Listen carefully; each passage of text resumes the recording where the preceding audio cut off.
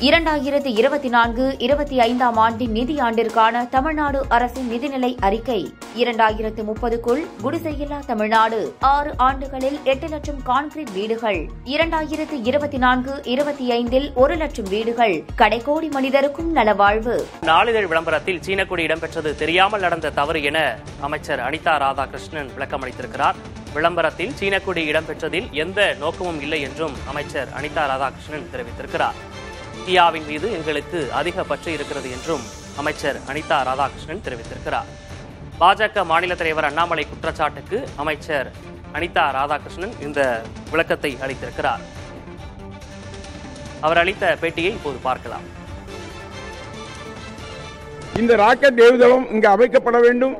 இதனால் நாட்டுக்கு நல்ல ஒரு உயர்வை தரும் என்ற வகையிலே வலியுறுத்தி வந்தார்கள். அந்த வகையிலே ஒரு விளம்பரத்தை போடலாம். ஏற்கனவே செய்த அவங்களுடைய இது வெளியே தெரியாமல் போயிடக்கூடாது அப்படிங்கிறக்காக விளம்பரம் போட்டோம். விளம்பரக்காரன் சில சில தவறு பண்ணிட்டால் நாங்கள் கவனிக்கல அதை. மற்றபடி எந்த நோக்கமும் எங்களுக்கு இல்லை. நாங்கள் வந்து இந்தியாவுடைய எங்களுடைய நெஞ்சில் இருக்கிறது இந்தியாவுடைய பற்று. இந்தியாவை தவிர நாங்கள் யாரையும் இது பண்ணுறதில்ல எந்த காரணத்தை கொண்டும் ஜாதி மோதல்கள் மத மோதல்களை உருவாக்காமல் இந்தியா ஒற்றுமையாக இருக்க வேண்டும் என்று நினைக்கின்றவர்கள். அந்த வகையில் தான் இருக்கணும் தவிர அது ஒரு சின்ன தவறான இது விளம்பரத்தில் நடந்து போச்சு அவ்வளோதான் வேற எது வேணுமா?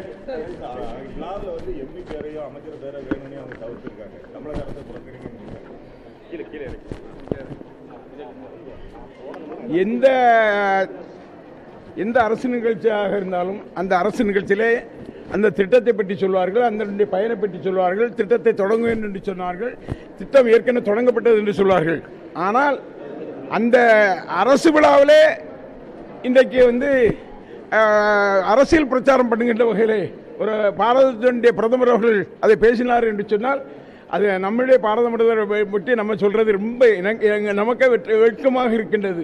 என்று சொன்னால் அடிப்படையே புரியாமல் செய்துவிட்டார்களே என்ற வருத்தம் இருக்கிறது. தூத்துக்குடி மாவட்டம் குலசேகரப்பட்டினம் பகுதியில் ராக்கெட் ஏவுதளம் அமைவது தொடர்பாக நாளிதழில் விளம்பரம் கொடுக்கப்பட்டிருந்தது. அதில் சீன அடையாளக்கூடி அச்சிடப்பட்டிருந்தது குறித்து பாஜக மாநில தலைவர் விமர்சனம் செய்திருந்தார். அதற்கு விளக்கம் அளிக்கும் வகையில் தற்போது அமைச்சர் அனிதா ராதாகிருஷ்ணன் பேசியதையும் நாம் பார்த்தோம்.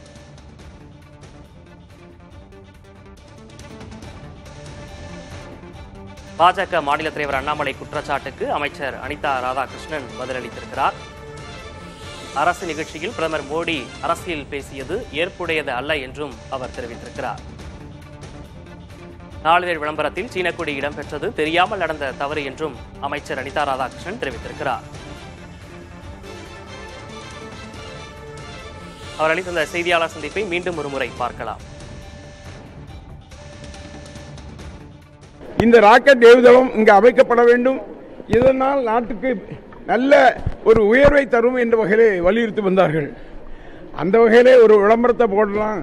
ஏற்கனவே செய்த அவங்களுடைய இது வெளியே தெரியாமல் போயிடக்கூடாது அப்படிங்கிறக்காக விளம்பரம் போட்டோம். விளம்பரக்காரன் சில சில தவறு பண்ணிட்டா நாங்கள் கவனிக்கல அதை. மற்றபடி எந்த நோக்கமும் எங்களுக்கு இல்லை. நாங்கள் வந்து இந்தியாவுடைய எங்களுடைய நெஞ்சில் இருக்கிறது இந்தியாவுடைய பற்று.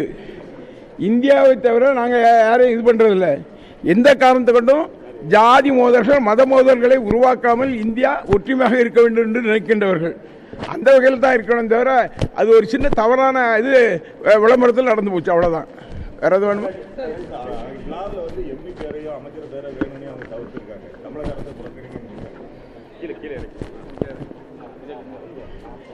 எந்த எந்த அரசு நிகழ்ச்சியாக இருந்தாலும் அந்த அரசு நிகழ்ச்சியிலே அந்த திட்டத்தை பற்றி சொல்வார்கள் அந்த பயனை பற்றி சொல்வார்கள் திட்டத்தை தொடங்குவேன் என்று சொன்னார்கள் திட்டம் ஏற்கனவே தொடங்கப்பட்டது என்று சொல்வார்கள்.